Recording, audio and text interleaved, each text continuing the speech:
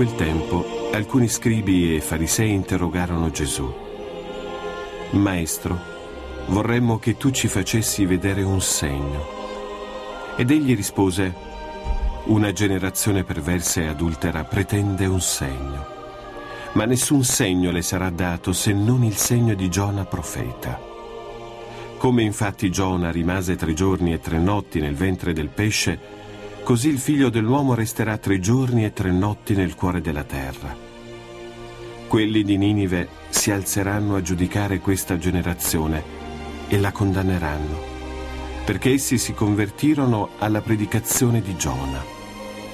Ecco, ora qui c'è più di Giona. La regina del sud si leverà a giudicare questa generazione e la condannerà, perché essa venne dall'estremità della terra per ascoltare la sapienza di Salomone. Ecco, ora qui c'è più di Salomone.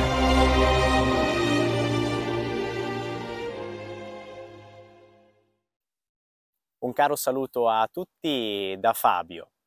Oggi trasmettiamo in diretta dal Parco Nazionale di Toronto in Canada. Le meditazioni di questa settimana saranno trasmesse proprio da questa città. E allora assieme vogliamo partire alla scoperta di questo luogo accompagnati dal, dal Vangelo e dalla meditazione quotidiana. Il Vangelo di quest'oggi, che è tratto da Matteo, eh, ci presenta un'ostilità da parte di scribi e farisei che pretendono per la loro fede di vedere un segno. Chiedono a Gesù che è il segno più alto di Dio che si è fatto uomo, chiedono a Gesù un segno. E Gesù risponde a tono.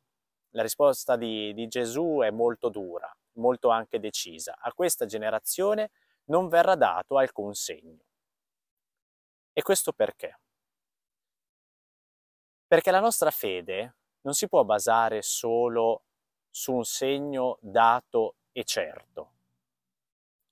Io ho un segno, lo vedo, credo. Non funziona così.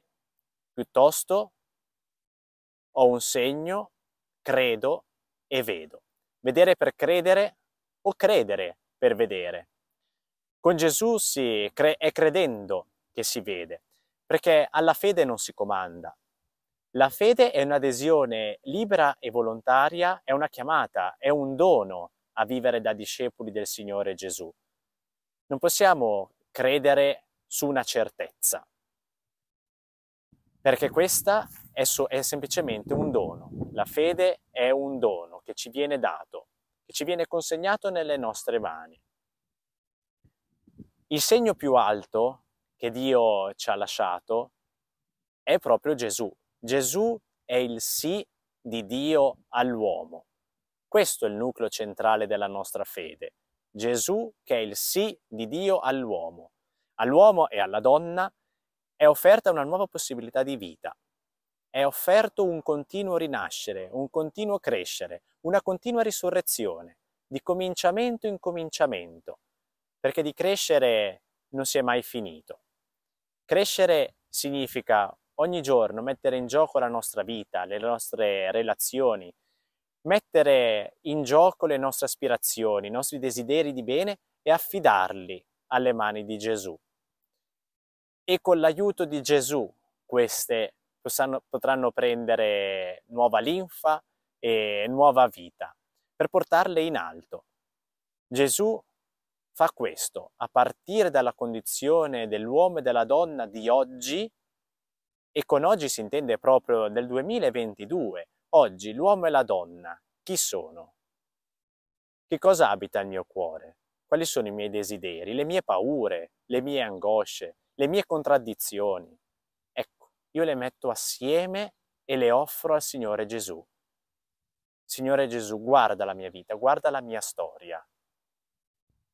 Dai una carezza, uno sguardo, possiamo dire un bacio alla nostra storia, alla nostra vita perché con la tua presenza tutto possiamo fare. Però a te, Signore, ci dobbiamo affidare. Questo è il segno più alto che noi abbiamo ricevuto ed è nelle nostre mani. Sta a noi poi riconoscerlo e metterlo in pratica, oppure prenderlo e metterlo nella tasca e far finta di niente, oppure adoperarlo solo quando ci viene comodo. Ecco, una fede non è una fede accomodante, una fede di comodo. Quando mi fa comodo credo, quando non mi serve non credo più. Ecco, la fede è relazione, è relazione continua con il Signore Gesù nelle quattro stagioni della nostra vita, non solo quando le cose vanno bene, ma in ogni stagione della nostra vita. La fede è affidamento fiducioso alla, alla misericordia di Dio.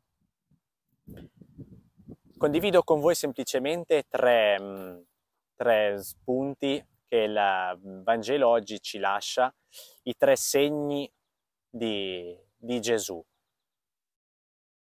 Un Gesù che si è fatto uomo, bambino nella mangiatoia, un uomo che è morto sulla croce e il risorto che passeggia sulle rive del lago.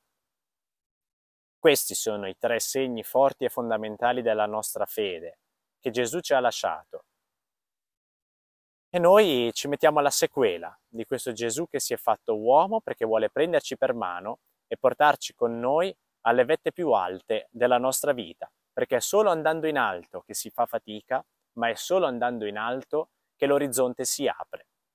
Non possiamo pretendere di avere orizzonti larghi nel nostro stare a piano terra.